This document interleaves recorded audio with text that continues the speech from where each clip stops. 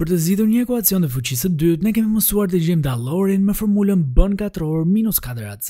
Dhe më pas, rrënjët e ndryshores do ishin të barabarta me minus b plus minus rrënjë e dallorit përmbi 2a.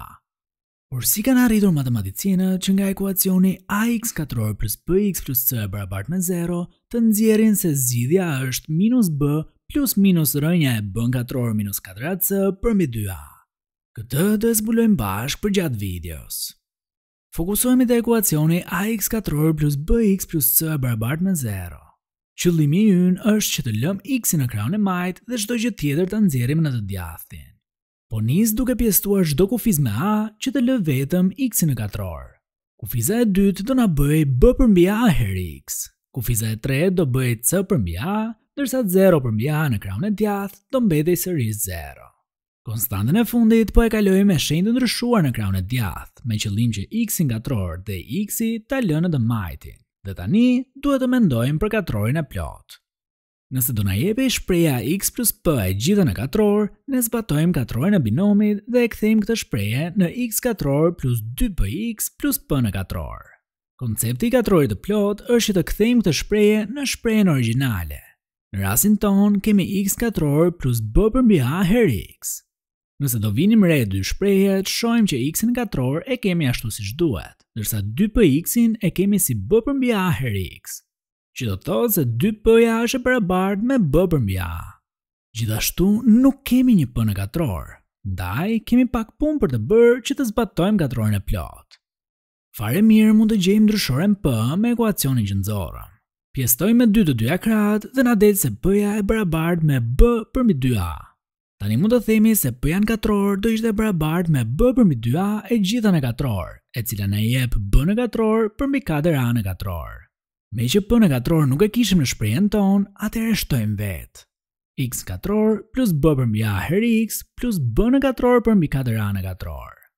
Ama në matematikë ne nuk mund të shtojmë diçka kot duke i ndryshuar vlerën shprehjes. Atë që shtojmë duhet që ta zhdukim pasi kryejmë thjeshtime, kështu që e shtojmë dhe në krahun tjetër.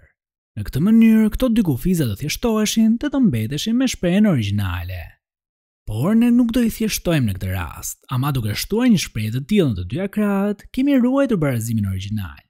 Kështu që mund të fokusohemi te katrori i plotë, sepse arsyeja që e shtuam këtë kufizë ishte pikërisht kjo. Thamë që p-ja e barabartë me b përmbi 2a.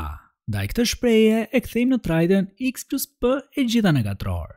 Pra x plus b përmbi 2a e gjitha në katror, e cila do ishte e barabartë me b në katror përmbi 4a në katror minus c përmbi a. Po të kryejmë thjeshtimet në krahun e djathtë, do kishim emëruesin e përbashkët 4A në katror dhe në numërues B në katror minus 4AC.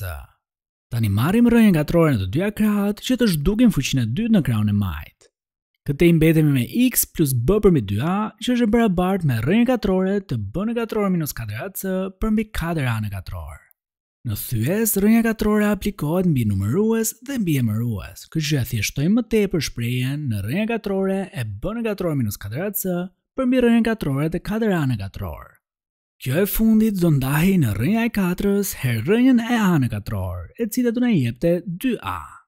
Tani kemi mbetur me x plus b përmbi 2a e barabartë me rrënja e b në katror minus 4ac përmbi 2a. Kalojmë b përmbi 2a me shenjë të ndryshuar në krahun e djathtë dhe do kishim rrënja e b në katror minus 4ac përmbi 2a minus b përmbi 2a. Kjo do jepte rrënja e b në katror minus 4ac minus b e gjitha përmbi 2a. Gjithë kufizën brenda rrënjës katrore mendojeni si një numër, dhe rrënja katrore e një numri na jep një rezultat pozitiv dhe negativ. Ndaj mund ta shënojmë si plus minus rrënja katrore e b në katror minus 4ac. Dhe këtë minus b-në po e kaloj përpara.